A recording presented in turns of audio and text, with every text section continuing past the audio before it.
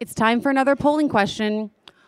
All of our neighborhoods are changing in some way or another. How do you feel about the changes happening in your neighborhood? One, positive, two, negative, or three, neutral?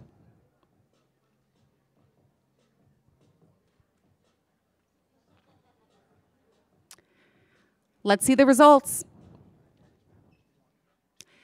Next, for a session produced by our underwriter Allstate, please welcome LaVonte Stewart, the Executive Director of Chicago's Lost Boyz, Inc., Melissa Sawyer, the founder and Executive Director of New Orleans Youth Empowerment Project. And welcome back Elizabeth Brady, Executive Vice President and Chief Marketing Officer at Allstate. To lead the conversation, Pat Kiernan, morning news anchor at New York One News. I feel like we're far. You want to be closer or further?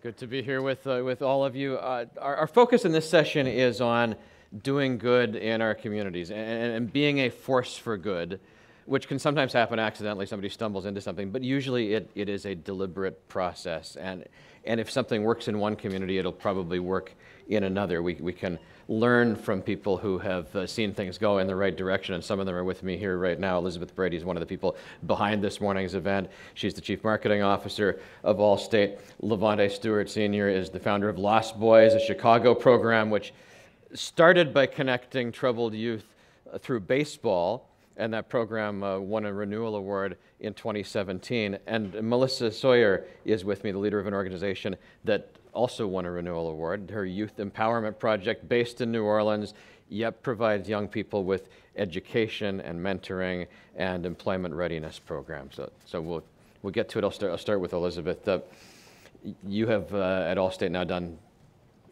these uh, renewal summits in half a dozen places across the country. What, what is the connection between this and selling insurance? So we actually live and work in communities all across the United States, and we have over 10,000 agencies that live in those communities. So we have a real responsibility to create sustainable and real change in the places that we really spend the most time. So the renewal awards have started, it actually started quite a while ago in partnership with Now the Atlantic around a poll that was done around the time of the last market crash. And it was the Heartland Monitor, and it was really designed to gauge what the consumer sentiment was when things really went south during the crash. And what we learned was that people across the country were tired of waiting for the government or institutions to create change. So they got really scrappy and smart and created that change themselves. So that's what we're really here to celebrate are those people that have endured throughout that time period and created really meaningful change in the communities without the help of institutions to um, get them going. Okay, I, I want to ask the um the skeptical New Yorker question. The, the, because the mayor was just up here talking about what, what didn't end well with, with Amazon in New York City and that relationship with, with corporate America. What, what can corporate America do so there isn't that skepticism from the public about what their motivations are? It's a good question. And, you know, we do have a responsibility as business people to create jobs and to help fuel the economy, but that's not where it stops. We really have way more of a responsibility to get into the communities and create change. That's where our employees work. That's the communities that we spend our time with, and those are the people that we're asking to join our business and buy our products. So if we're not giving back, we're not doing our part as business leaders, and we, we you have to do it in a credible, meaningful way uh, LaVonte and Melissa, I think this question applies to both of you, so you can you can jump in on this. You are both focused on youth programs. What what was it that led you to to youth as being an area where there could be real impact? Um, oh, whoa. well, good, good morning, good afternoon, everyone. Um, so, as a co founder of the Youth Empowerment Project in New Orleans, we started in 2004, a year before Hurricane Katrina. And really, the reason we started was that there were no programs in the state of Louisiana providing young people who were incarcerated with reentry supports. And so, YEP was actually the first juvenile reentry program in all of Louisiana. Um, again, being in New Orleans prior to Katrina meant that we were positioned, though, to continue to expand and to, to meet community needs. And so, we've grown a lot more into education and prevention work um, as well as continuing to support young people who are engaged in the juvenile justice system. But we really came out of a need because there were no programs that existed that were actually providing the nurturance, the love, the support, the skills, and the opportunities that young people needed. Well, for me, Pat, it was um, there had been a decline in African American participation in baseball for a long time. So, around maybe 2004 or 2005, I started coaching in a, a local league that got resurrected in my own community, mm-hmm. a league renamed after a league I, I grew up in. And one day during that, the gentleman shut down the league around maybe 2008 and I was kind of saying goodbye to my boys. I was going to send them to other teams in our district, like Jackie Robinson West and all of this good stuff. And so it's the middle of the afternoon in the summer, and uh, we see two guys are chasing another guy across the field, gun out. I'm old school. I hit the dirt. The kids are laughing, joking. So at that point, I recognized the seriousness of it and how desensitized they were to violence. So there, Lost Boyz was kind of born. I couldn't stop. I had to keep going with this group of kids. Well, this is a little bit what I was talking about with sometimes there's an yeah. accidental moment where you, accidental you, moment, you exactly. see something and it, it, takes off from there. Yeah, and, and so for me, it, it, uh, it also tied back to experience, growing up in the community and experiences, the, the negative experiences that I had had as well. So I understood what kids were going through. So we devised this solution. Uh, Elizabeth, you, you have um, this group of 10,000 agents across the country, and in some ways you've got 10,000 different ears to the ground, which probably sometimes is a bad thing because they all have a different idea about what you should be doing. But, but it's also 10,000 different sources for here's a need in this community, here's a need in that community. How, how do you tap into that? We have a really great network, and there's a lot of sharing that goes on through programs like this, but then just our outreach into the communities to understand what the needs are in those individual areas and what solutions our agents are pro- providing already, and then how can we step in and help them make those solutions better, faster. Um, more sticky so that they actually work. So we really do listen and we learn. We also have times where, you know, catastrophic things happen in communities that we we have our our people in, um, and Allstate shows up. We show up first. We show up fast, and we help people rebuild their lives. And I think that's the best contribution we can we can bring is you know restoring people's lives when something bad happens. Melissa, can you talk about that that connection between one local program in one city and the rest of the country? How can we learn from each other and really take something and, and bring it somewhere else and build on success? Well, and I think this is something really to applaud Allstate for doing is, is with this initiative to look at local innovative solutions to addressing community challenges. But a lot of the criteria also is what is the, the replicability of these programmings around the nation? And we know that many of our communities are facing a lot of the same challenges. And so it's really about investing in, lifting up, and then finding opportunities to share lessons learned to support community partners around country. I would also just say we're in a time now where the vast majority of funding that I get and other folks get is private funding, it is corporate philanthropy. And so we really do need the business community to step up to support what, in, in many places, we might think should be human services or basic needs that are covered by public funding, but oftentimes that's just not the case. And so, again, really looking at where we can have strong community corporate partnerships, I think that's how we're going to continue um, to positively impact this country.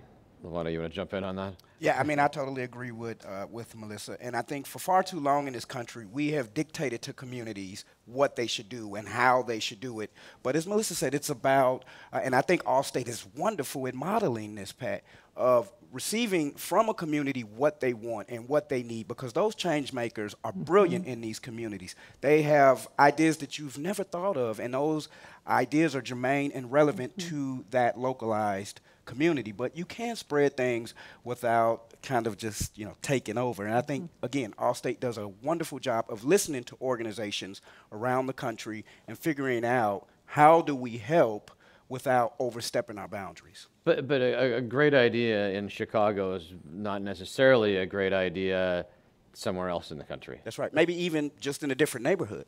Yeah. It, it may may not your approach may not work. So, so who, who who leads there? Does uh, does the idea take you somewhere that it wants to go, or, or is, is that where you have to use your expertise to shape the idea? I think it's a little bit of both. What do you think, Melissa? Well, no, so I think that again, it's not necessarily about um, replicating 100% of a program, but I think that there are a lot of commonalities and a lot of lessons learned that we've learned in some communities that we don't need to start from scratch other places. And so I think if we can help build local capacity, if we can say, hey, this actually didn't work, I think oftentimes 70 or 80% of a model actually could be transferred to communities if you're dealing with the same sorts of challenges around disengagement, disconnection, high incarceration rates, behavioral health issues, mental health issues, loss of access to childcare, and things of that nature. So I think there actually is a lot of transferability. It's about how then are we building on local capacity, local skill set, not necessarily coming into a new community, but making sure that we're sharing and imparting the knowledge that we've learned in other communities. I would also add a role that business can play in making that happen is really, you know, connecting the dots for everyone. There's great things happening, you know, in individual communities that if we can be the network to help share those ideas, that can really help other people get things off the ground, learn things that are working, avoid things that aren't working. So I do think when, when there's a business that is as far reaching as ours or others that can also contribute to this effort, we really need to step in and help spread that word.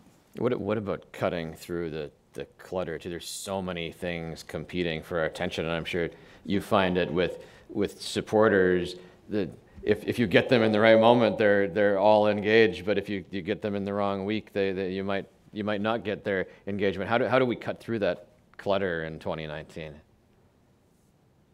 Well, I don't know. We're, st- we're still working on it, still figuring it out. But um, the thing that really jumps out at me is your ability for your story to resonate with people. At the end of the day, it doesn't matter if we're male, female, black, white, Hispanic, gay, straight, we're all human. And we all can understand one another on that level. And so when your storytelling uh, just kind of reaches deep into the heart of people, I think that helps you kind of move past some of those barriers that we run into as nonprofit leaders. Have, have your organizations changed in the time since they were were founded. I, mean, I know for, with, with Lost Boyz, it was, it was boys baseball originally. You, you, where, where does it go next? It's, it's expanded thanks to the Atlantic and Allstate. We recognized uh, some of the things that were occurring with the boys we saw with the girls, and so we expanded that program and brought them in under fast pitch softball. And we're also now following Coach Justine Siegal, one of the first women hired in Major League Baseball. And we're going to be competing in a baseball tournament with girls, baseball for all. So there's this big movement to get girls in baseball. So yeah, it's it's uh, our world is changing and it's exciting. Melissa, what's ahead for you YEP? Yeah, so when we started in 2004, we only worked with 25 kids that first year. Our budget was $235,000. We had five staff. Now our budget's about $4 million. We're touching over 1,200 young people. We're actually helping to build capacity of an organization in Houston who's replicating our employment readiness program. So we have 50 staff. Um, we pay a living wage to all our staff. We ensure that we have health care for all of our staff. So again, we're really trying to live our values and to ensure that we're imparting that to the community that we're a part of. And, and when, when somebody has a, an idea of their own, uh, where, where, where, where do they go? I mean, if you had one piece of advice for them about, about taking it into the world and, and being that force for good, what, uh, what can you tell them as they're starting out with a new idea? I'm like Nike, just do it. Don't don't be scared. Jump in, follow your heart. That's what this country is all about. That is really what the American dream is. Yeah, I would say use your skills to do good. Make sure you follow your passion, stay centered and anchored in who you are, live your core values. Um, I guess I would slightly um, take that in a different direction. I think in some cases we have an oversaturation of nonprofits and not enough resources. And so if you could continue to build or be a part of something that's already existing, so we're not kind of dividing up a really limited pie more than it needs to be, then make sure you're bringing those ideas to existing community partners and organizations. Elizabeth, you've uh, brought us all together. So, final thought to you as we uh, as we head through this renewal summit. I'm sure there will be be more ahead. What what should we be thinking about, and uh, and what can the the corporate contribution to that be?